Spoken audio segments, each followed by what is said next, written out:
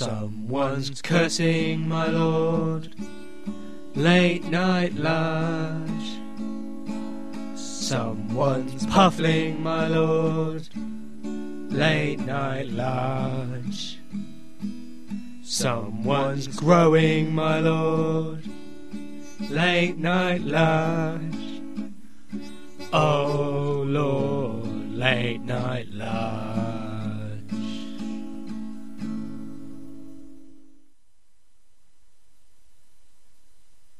This is a post watershed production.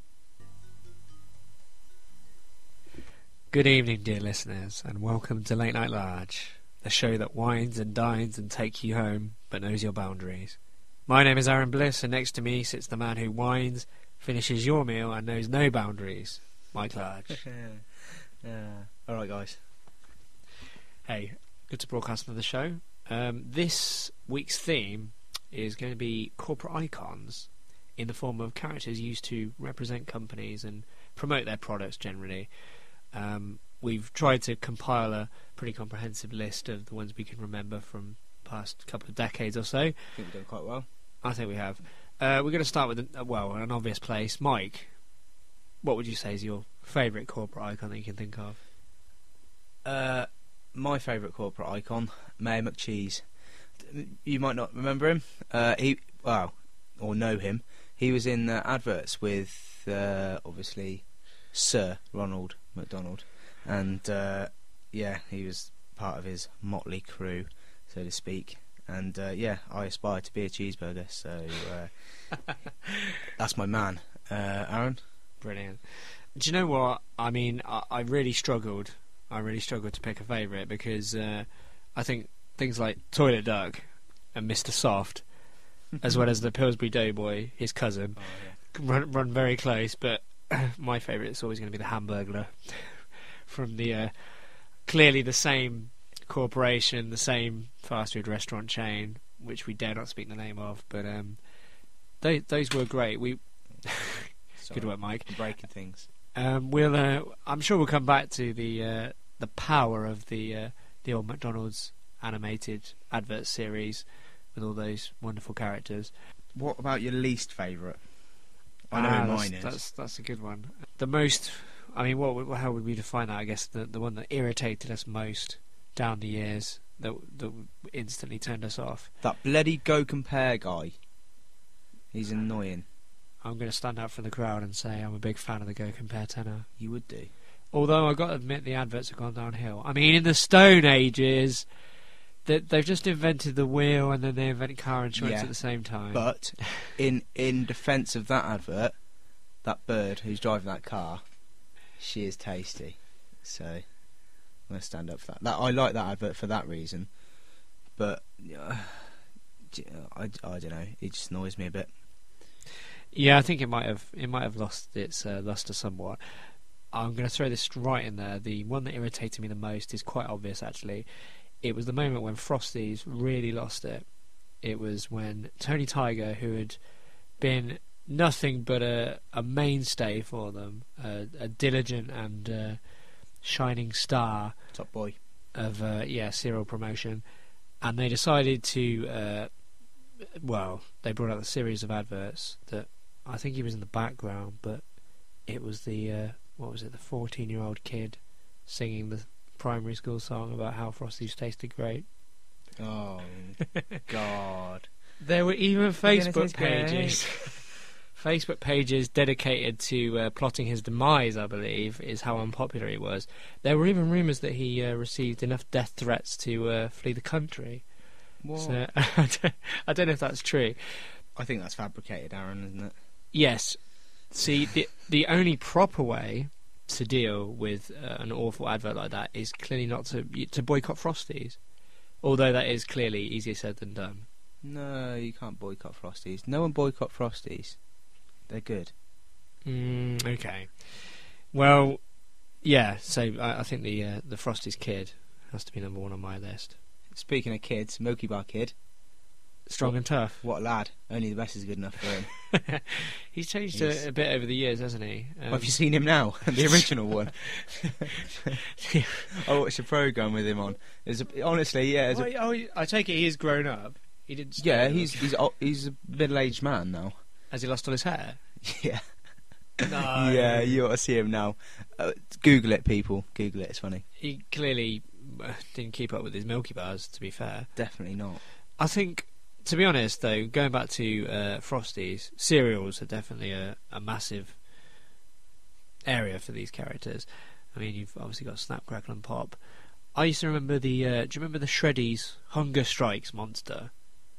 Do you remember that? Yes. Yeah, Yes, when, when when he used to leap out from nowhere and drum on people's stomachs with a pair of spoons. Yeah.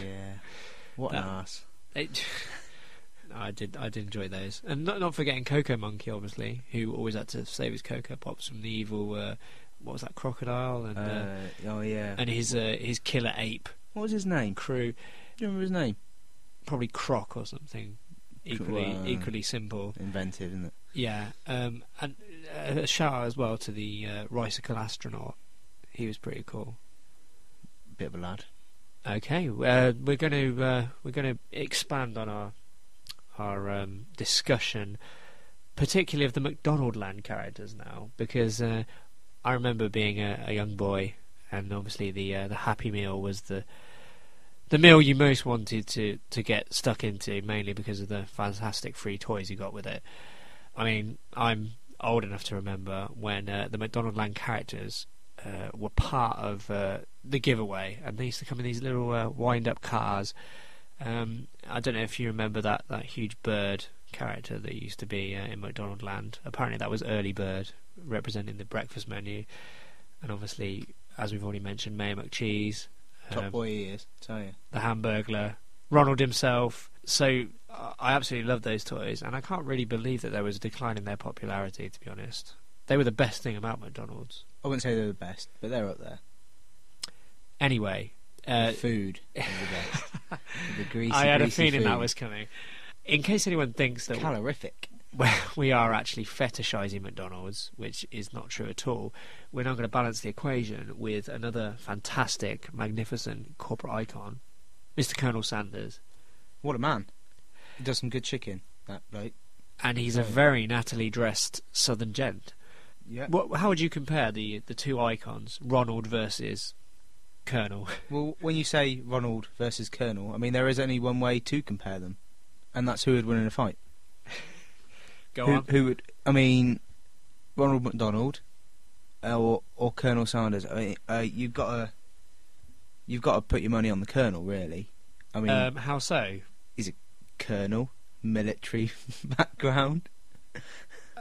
Okay, that that would be interesting to check out. Um, I I, d- I might have to Wikipedia that in the uh, d- in the break. Yeah, no, I, d- I, I don't know actually. Yeah, Well, but he's, Ronald he's got to be in his sixties, surely at least. The All right, Colonel. okay. Well, well, how old's Ronald McDonald then? Ronald McDonald is ageless. Some say he's undead. Undead, I think that's yeah, a good way to describe him. Yeah, but he doesn't look like he'd be much use in a fight, really, does he? Or, oh, I don't know. You, know. You always, you always look to me like you might be a threat to your children. you know, it's got to be rules against saying things like that. You're going to get in trouble for that. Um, Apologies. don't apologise to them. Apologise to McDonald's Corporation, mate. That's who you need to apologise to. Uh, and we'd just like to uh, clarify that uh, the uh, the views and um, opinions stated hereof uh, are not the views and opinions of uh, Deadington on Air or any of its subsidiaries. or even me. Just that's just that's that's bad even for me. I I disagree with that. Anyway, let's get back to the subject Yeah. of Colonel Sanders duking it out with Ronald McDonald. Well, who would win? Who do you think would win in a fight? Actually, I'd, I'd probably I'd probably agree. Unless Ronald had any kung fu moves, I can see the Colonel breaking out his cane. Yeah, I reckon he's pretty handy with a cane, Mister like Mister Miyagi style. yeah, he would be, wouldn't he? I, I definitely. So I'm I'm betting on the Colonel there. So yeah, KFC wins again. Uh, are we going to include the Burger King at all in this? the the king, The king. the the, the, king of burgers, apparently. Um, well, Is he going to Okay. get involved? He's going to get some action. well, he get involved, can't he? Uh, hmm, See, he's Again- the hi- he's the highest ranked out of all of them. I mean, King beats Colonel, surely. Yeah. Um, all right. Well, who do you, who do you think would win, the Colonel or the King? Between the Colonel and the King. Yeah. Fight To be f- to, to, the be death. to be fair, surely the, the King would just order his minions to No, tear, tear the Colonel have- apart. It's one on one. It's- It's one on one. the Otherwise, otherwise Ronald McDonald would get the Hamburglar involved, wouldn't he? So, I know we've had our differences, right? We we, we haven't always seen eye to eye, but give me a hand. What, what about it's one on one. what about Officer Big Mac? Officer Big Mac. See, uh, you, you, you can't have Surely them. he'd surely he'd step in and No, uh, they stop, can ha- stop the whole No, they can have their own fight. It's one on one. Come on. No, Um, one on one. The king or the what- colonel. Come on, who do you reckon would win? Colonel. Well, you know, looking at the king, he clearly has a significant age advantage. I'd say he's a good 25 years younger than the colonel. That and the fact that he also Take him in looks, their he, look- heyday. he looks in, in their heyday. Yeah. Is in is in imagine them at the same age and then fight. Right, so I'm imagining the colonel. It's fairer. I'm right. I'm imagining the colonel in Kentucky as a, a poor, thirty-something uh, grifter No. who's who's uh, just who's just had a brainwave for um, a secret sauce for uh, blending into chicken, eleven secret herbs and spices. Is that how uh, it came about? I, I think so, but he uh, he clearly you know he doesn't have the capital to get it off the ground, and then all of a sudden. capital to win in a fight. but what about the You're going off the rails here. because the the Burger King clearly didn't ascend to his royal rank that early either, so he was probably a grifter too. He's probably Yeah, you're right. He probably went from grifter to king. That's how it works, isn't it? he's probably just hustling people on the side of the road, pick picking uh, food out of the rubbish. What and, and bought the crown. Hey, he got the crown for his burgers. He, he earned the crown. That he ascended to the royal rank. Grifter to top burger maker, and then they gave him. They made him king. So you know, you you please my belly the most. You're now king of this fine land. I think that's definitely how it worked. So, in conclusion, Colonel Sanders would definitely kick Ronald's ass, but we're really not sure how it would end between the king and the colonel. I think he take. I think he take the king. You One think- on one in a fight. I mean, what's the king's got a crown? I say. He ain't got. He ain't, he ain't got nothing. He ain't got nothing on the colonel, has he? Let's be honest. so basically, all you'd find would two corpses with KFC buckets over their heads. Absolutely. Now, there's something while we're on this this topic that that's been bugging me. What happened to the original Mr. Muscle? That that has annoyed me. I genuinely, what what's gone on? If if you know, well, unless of course Aaron can tell me, but it, g- listeners, talk to us. If you know what happened to him, I mean, I heard rumours that maybe he died. I hope not, because he's a bit of a legend. But why have they replaced him with an actual muscular bloke? It's not as funny. It's not as good. And if anyone from Mr. Muscle is listening, uh, as they should be, sort it out. Get him back. Aaron, do you know what actually happened to him? Do you know why? Well, first of all, I know that Mr. Muscle was a great inspiration and example to you when you were a kid, so I feel your pain. Yeah, yeah, yeah. I was the dweeb. Yeah. Yeah. okay, well, legend has it that the original Mr. Muscle uh, basically died from constantly inhaling his own fumes while cleaning his oven. But uh, I think uh, I think what happened was, um, you know, if I'm being brutally cynical, I think possibly the uh, advertising executives thought, you know what, I think I think people don't take this guy seriously. I mean, he's got no muscle. He's uh, he's too ironic. Uh, people don't get irony these days. We need a real Mr. Muscle. We need a muscular superhero with bad dubbing. Don't buy it. I'm not having it. I no no irony still has its place in the advertisements of today. I no. Well, I that's crap. I, I disagree with the. Can I just say though that the first wave of adverts with the new Mr. Muscle, you know, with the really bad dubbing Yeah. and the foreign actresses, Yeah. they were uh, they were quite sexual for British TV. The old uh, the young housewives leaning over the counter, This scrubbing back and forth. Yeah, yeah, that pleased me. But what didn't please me was the new Mr. Muscle. All right, he's, what's good about him? What's special? Nothing. The old Mr. Muscle. Now he was a lad. Yeah, because uh, I mean it's stretching stretching the envelope a little bit to suggest that uh, a dirty oven is the equivalent of a villain that a superhero needs to bring down. It's not exactly a crime syndicate, is it? No, not a, well. Because it, it's taken because the old the point of the old Mister Muscle surely was it was very down to earth. It was all about reality. The guy, he wasn't muscular at all. He was as weedy as they came. All he wanted to do was clean his oven properly, and he just didn't have what it took. But then Mister Muscle, the product, came along, and he felt like you know he felt like an Adonis. Yeah, in my eyes, he he was an Adonis. He no, he he was uh, he was good. Let's bring him back. While we're on the subject of uh, cleaning subjects, though, cleaning subjects, or or even cleaning products, Mr. Sheen. Ah, trying Smooth. umpteens things clean. Yeah, what a lad. I mean, uh, uh, One of my favourites, I think. I've got to say, I love Mr. Sheen. He's up there. He's up there. He he, he looked the part, didn't he? Him and his magnificent moustache and his Yeah. Biggles style I headwear I as he flew moustache. that little plane. That was the best thing. Was the fact that he was a pilot. Yeah. I mean, how how much of it?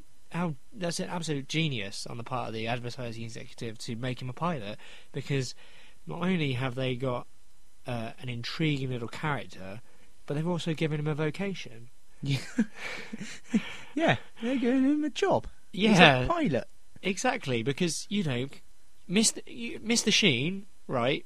Just spraying a can of furniture polish. That that's pretty lame, to be fair. That's not going to go very far, is it? Mr. Sheen flying a plane that spews furniture polish out the back as though he's skywriting. That is good. Genius, that is. Genius. I think also you mentioned. I think you mentioned earlier toilet duck. Oh, You mentioned yes. toilet- yeah. I did mention toilet duck. Toilet duck. Now, that- that's he's cool as well. His little quacks. I tell you what, it's a good way to get the party started. yeah. It. Uh, if you say so. Toilet Duck it, it is pretty brilliant. Um, I mean, obviously the other genius thing about Toilet Duck was the fact that they shaped the bottle to look like a duck. Genius, isn't it? I mean, how sure- they thought of that? surely exactly. I mean, what they should have done really is uh, make the Mr. Sheen furniture polish the same shape as uh, an aeroplane. That would have been the uh, logical thing to do, really. They really. Because then, cause then you would have got kids to uh, polish the furniture. They've missed a trick. They, I know they flying it all over the living room. Although there are th- things that you, uh, I've seen them. They're li- little pads, and and you put them on your kids' feet. and w- honestly, now look, if you've got wooden flooring or something, and, and they are they're like little dusters, and you put them on them and their hands and their feet, and they crawl around doing their thing, That's really, and they're inadvertently polishing the floor. that is absolute genius. Buy some. I don't know if any of you watch uh, An Idiot Abroad, but Carl, quality. Carl Pilkington, he he found he found some of them in somewhere. I can't remember where he was now. That's not the point. The point is he found them and he brought them to my attention, and I'm glad he did. When I have children, I will exploit them um, in the way that I will be buying them, sticking them on their little hands and feet, and making them making them polish things. I uh, I have to also vouch for that. I definitely think you will exploit your children. Saint Etienne now. See you in a minute. The following section has been removed due to copyright infringement. Sorry about that. Fight the power. Right then, uh, yeah, welcome back. Whilst we're on the subject of children, just before that track there, which by the way, I, w- I won't be exploiting mine. Thank you very much, Aaron. You say so. you, you sick man. Mentioned the the Milky Bar kid before. If you haven't googled him yet, why not? It brings brings up a, a topic: children in advertising. Is it ethical? I mean, you see them programs, don't you, about the pushy parents and things. Okay, it's not always pushing them into advertising. Normally, it's pushing them into beauty pageants and doing horrible things to them, and you know. But uh, I mean, what do you guys think? Let us know. Facebook page, Late Night Large. Have a little look. Search us. Like the group. Leave comments. Communicate with us. Song requests. Who knows? You know, what's worse can happen? Can you think of any other characters other than the Milky Bar Kid that were specifically children? Uh, I've been racking my brains. I can't really. Um, I mean, I don't know if the Fry Kids really uh, count again from McDonald Land, but Um, no. I mean, a lot of adverts have children in them. Oh, of course, yeah. uh, most, but I know, I can't think of any that were that were specifically. Do you know, it's funny you should say that because uh, if we look at characters like uh, the Pillsbury Doughboy, obviously, and uh, Little Chef, they're not children, but I always kind of consider them eunuchs. I can, I can see why. Yeah, exactly. They they are they are completely asexual. I guess the bicycle astronaut was a kid. The the little cherub thing, fairy, fairy ah, liquid. Yes, the fairy cherub. That's a That's little- a good point. That- That's a that counts. although again, that is that's bizarrely that's that's quite creepily asexual. Again, again, it looks a little bit like a eunuch. Yeah. Yeah. Okay. Again, I, I see what you mean. Well, a lot of advertising's aimed at children, so it makes sense to use them. But there aren't really any. I don't know. Perhaps we're missing something. Mm. I mean, if you another interesting point as well is if you look at the, all these corporate characters and icons, what what's the kind of connection in, in who they are? They're generally either quite wacky. Well, you'd say men, quite quite generally wacky men, or children, or Really attractive women. uh, sorry, you've lost me there. Really attractive women. Anyway, we'll just we'll just ignore that point, which can't be backed up with any evidence. It can. Um, Wh- which really attractive female icon? Sunmaid. Oh, From Raisins. Not not forgetting uh, Aunt Bessie, Aunt Be- Be- Betty Crocker. Yeah. Yeah. They are. Yeah. Yeah. Okay. Right. you are a bit of a horn dog. maybe you're right. Um, no, I was going to say yeah, anthropo- anthropomorphic animals.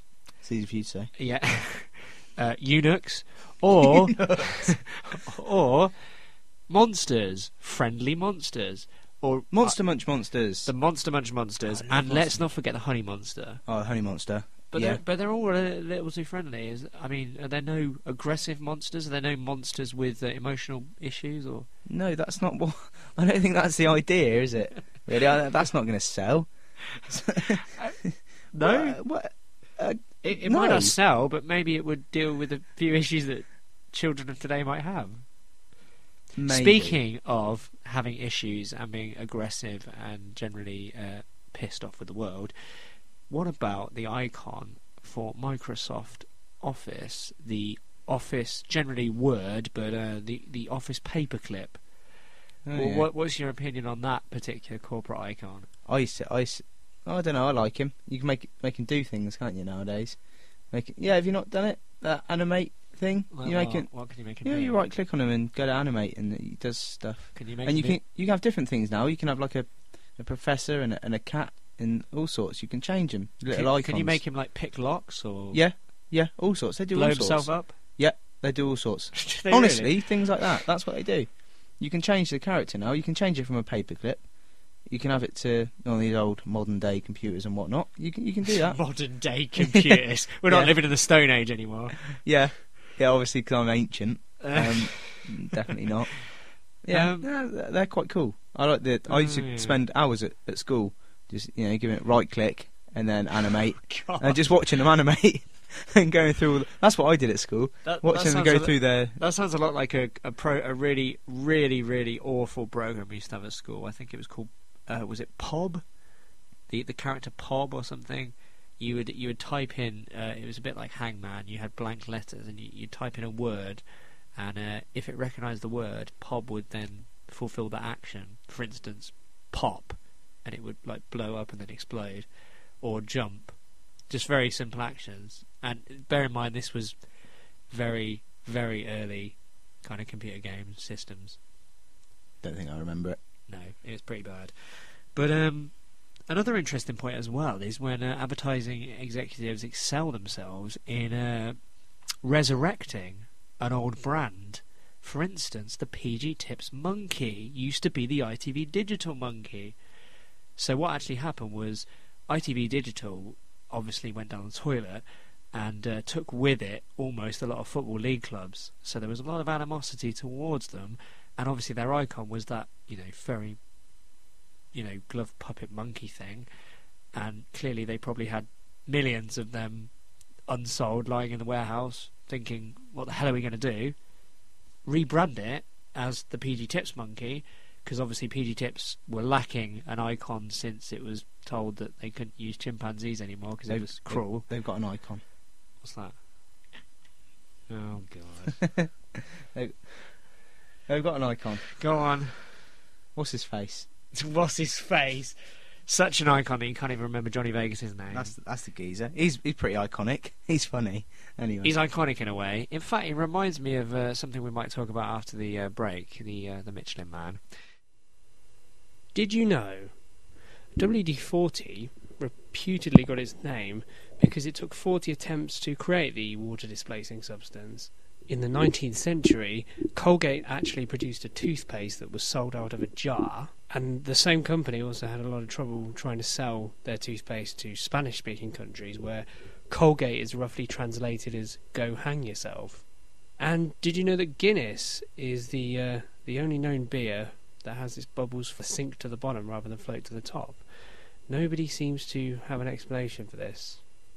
Mike? Welcome back. There's um there's something that's been bothering me. Uh, there's Go two grizzled seafarers, and again, I, I I wondered who you consider superior. Who do you think would win in a fight between John West and Captain Birdseye? Oh, now that's that's a tricky one. You Or, see, or who would win in a fishing contest? who would win in a fishing contest? John West or Captain Birdseye? Captain Birdseye. Ouch. Yeah, Go on. What, what? because I don't really know why. Justify that. I can't justify it. There, there is no justification. do you know what? Yeah, but okay. well, well, who do you think would win? It's, do you know what? I'll go further than that. I actually wrote a piece where uh, a guy hallucinated that um, John West was attacking Captain Birdseye, and basically West accused Birdseye of being a phony about not being a real fisherman, um, because John West goes through the worst to bring you the best. So you know he's he's been uh, thrown overboard, battered by tornadoes, eaten by sea monsters Oh, this is true. and he's uh, he's come through it all just to promote his tuna and other assorted seafood dishes, tin dishes. Um, whereas you know Captain Birdseye, he seems very much like a. Hang on, but I've, Captain Birdseye seems very similar to another corporate icon that I can't put my finger on, unless I'm just thinking of Santa Claus. yeah, you're probably just thinking at Santa Claus. Well, he's a. No, is he? Oh, he, no, no, no. You're You- you right. You're actually right. That's a very good point, Mike. Probably the greatest corporate icon one would suggest of all time, Santa Claus, created by Coca-Cola. There you go. Many argue Corp- the the uh, modern version of Santa Yeah. Claus in the red outfit with the big fuzzy white beard. before, weren't he? He was. And did you know that Coca-Cola is actually green in its natural state? I do know. Yeah, it's actually coloured black because uh, I think they uh, they didn't think that people would take too kindly to drinking green fluid. Oh, Seriously, That's- that's, that's true. interesting. True fact. How do you know that? Um, I, I don't know. I heard it somewhere. I often pick up little fragments of knowledge without realizing where I got them from. Fragments of crap. Anyway, I, I want to try some green Coke now. I, I think I would be more likely to try it if it was green, if it didn't taste just like syrupy tar. It doesn't taste like syrupy tar. It does. They really should put the cocaine back in it. Anyway, there's a lot of animals that are used to sell sweets to kids, aren't there? Let's face it, because uh, I don't know if, if, whether it's because humans are slightly more, you know, too threatening or, or too creepy to, to promote them. Animals appeal to children, don't they? of course they do. And I mean, children love animals. we, we've got a number of obvious examples. I mean, we, we think immediately of the Haribo bear, the Freddo frog, and th- there's a there's a number of bunnies as well. There's a there's a bunny for Nesquik, there's a bunny for Caramel, and of course, I think yeah, there's probably a, a Kinder bunny, and of Yeah. course there's the Energizer bunny. Oh yeah, that's which not is the- s- sweets. No, but it's the greatest bunny of all. That's all I'm saying.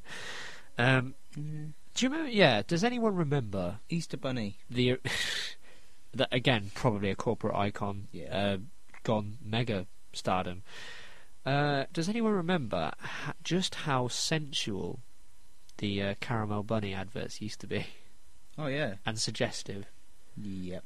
especially considering they were supposed to be appealing to kids. They always appealed to me. That was one kinky bunny. Yeah, indeed. I'm going to agree with you there. Like I say, that they always appealed to me, so they worked. Do you think there's a? I mean, as we've just said, there's at least three different famous, iconic bunnies we can think of from the corporate world. There is something of a crossover between characters. I mean, for instance, wouldn't you suggest that the Pringle guy is either an offshoot or partially stolen from or an illegitimate half brother of either Colonel Sanders or the Monopoly Man? I see what you mean. What? uh, What is it? Is it? Is it the moustache? I think it's the moustache, the grin, and, and probably the hair as well. They're, they're, they're quite similar, the, the parting and just the overall aesthetic appeal, I think. But yeah, generally the facial Well, hair. then you could just say, uh, yeah, okay. Um, no, I I think he's entirely unique, and they haven't stolen him from anywhere. Although I'd like to think of him them as all being related somehow. I'd like to think of them all nice. being related to the Monopoly Man. Yeah, everyone should be related to the Monopoly Man. I wish I was related to the Monopoly Man. I think the uh, the most recent slew of uh, new corporate icons is probably from the insurance broker sites. Obviously, Hmm. we've mentioned the Go Compare Tenor. Oh yeah. There's uh, obviously those stupid bloody meerkats. Um, Hey, they're not stupid. for compare the market. Cool. And um, what what do you make of that? That well, it's one of the most unoriginal creations of recent years, but that stick woman for uh, Confused.com. You know, the one who sings all the time oh, oh, to that- disco songs. you- no, I don't like that at all. It's uh, it's like- pretty pretty shamelessly ripping off a lot of other ideas. It's isn't it? worse than the bloody Go Compare man. Yeah, I'm replacing that. That's now my least favourite. I can't It- stand you have to go a long way to find someone who's less popular than the Go Compare tenor, but Well, you just clearly have. you. Fa- Yeah, don't have to go that far. Speaking of stick figures, do you remember Fido Dido? Fido Dido. No. No, the character who used to promote uh, Seven Up. Who's Fido Dido? I don't know. I probably. Oh, oh I will by face. I know. Uh, yeah, no, you'd recognise him if you saw him, but yeah, he was the he was the Seven Up branding character. Why is there not a Dr Pepper? The following section has been removed due to copyright infringement. Sorry about that. Fight the power. If you had a party featuring corporate mascots and icons, I definitely think it would go down pretty smoothly if you, let's say, were on board a ship in international waters, uh, piloted obviously by Captain Morgan, and then you'd have some uh, pretty rough and ready characters like uh, Jack Daniels, uh, Joe Camel, the Marlboro Man, maybe even Mr. Peanut and uh, Mr. Porky to provide catering. And um, I, I think that party would go, would go down pretty well. Maybe even get Mr. Brain to whip up some faggots for you. That'd be. I'd love to be at that party. It, it, it would be pretty immense, wouldn't it? Also, on the uh, on the same subject, um, what do you think would happen if uh, Aunt Bessie got with Uncle Ben? It's, it's, it's easy, isn't it? Aunt, Aunt Bessie plus Uncle Ben equals cousin it. oh, I don't know. So harsh. Just trying to think of some of the uh, the icons. The Uncle mag- Ben though and Aunt Bessie, they'd have to get involved with catering, wouldn't they? Really? Uh, realistically, yeah. I mean, Mr. Porky and Mr. Peanut would, would just have to be the snack Snacks foods rather than anything else. And maybe even Professor Weeto, if people had a bit of a, a sweet tooth, he could uh, he could whip something up in a test tube or something. The Schweppes leopard thing. Like, you can you can be refreshments. And Really, uh, as opposed to eating people. you, uh, you I- could do. I- guess he'd do a bit of that as well. But I- I think as long would. as he brings the drinks, that's fine. yeah. Or, or you know, if if we have people of more of family mindset, we could get the old Dolmio uh, puppets to to get the family all around the table. No, They they annoy me. I think they have to be thrown overboard. okay, I'd see to that. yeah, I, I, I can just see uh, Joe Camel throwing him overboard. Sti- or, sti- or at least spitting in their face. yeah, with his shades on, looking cool and calm and. while he, while he while he chain smokes and then hacks his guts out. Yeah. Um. Well, I can imagine the Quaker Oats Quaker not being too pleased with with all this frivolry. If he doesn't like it, he can go overboard as well. Frivolry, frivolry. Yeah, I think I just made up a word that doesn't exist. Um, do you know who. Joe Camel used to remind me of? Or rather, who used to remind me of like an innocent version of Joe Camel? Geoffrey Giraffe from the Toys R Us adverts? Why? Because they're animals. Well, no. It's the only connection I can. No, because uh, Similar shaped face. yeah, the the giraffe looks quite similar to uh, to Joe Camel. I disagree. I think basically, if Geoffrey had uh, become a crack addict and a hopeless alcoholic and clearly chain smoked Camel cigarettes, he would have been Joe Camel. Except not as buff. Uh, clearly not, or good with the ladies. Or as cool. Smooth. Um, what do you think of Green Giant? Or what, Uh, would you uh, would you Pretty big fellow, isn't he? would you feast on his niblets? Uh, no. I don't really like sweet corn that much. Mm, the Smash Robot was pretty irritating as well, wasn't it? Yeah. Yeah. I mean, that was it. Seemed like a bit like a Doctor Who rip-off more than anything else. Well, they're all rip-offs. All of these are rip-offs. We- well, we they, discussed they this. were mainly created by advertising executives who deal in plagiarism all the time. Cravendale cows, would you class them as a. Yeah, why not? Not forgetting, obviously, the uh, Kellogg's Cornflake Cockerel, um, which I don't Yeah. think we've touched on.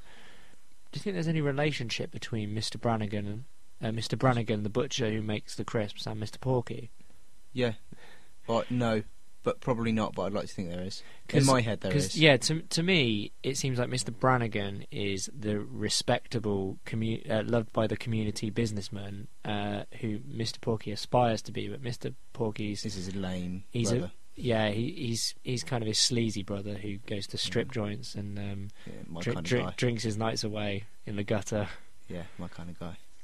Although I will answer a question right now. I, I remember back in the day there was a question, uh, Mr. Soft, why is everything around you so soft and rearranged? Because you're in the K hole, man. Anyway, I think that's uh, I think that's uh, pretty much all we've got time for. I hope you've enjoyed this uh, remarkable display of nonsense. Tune in next week. And it'd be nice if you left a few comments or aggressive death threats Yeah, on the I- I- Facebook page. I keep plugging the Facebook page. You know, talk to us. Feel free to spam pornography or anything else on there. No, just inbox that We to really- me.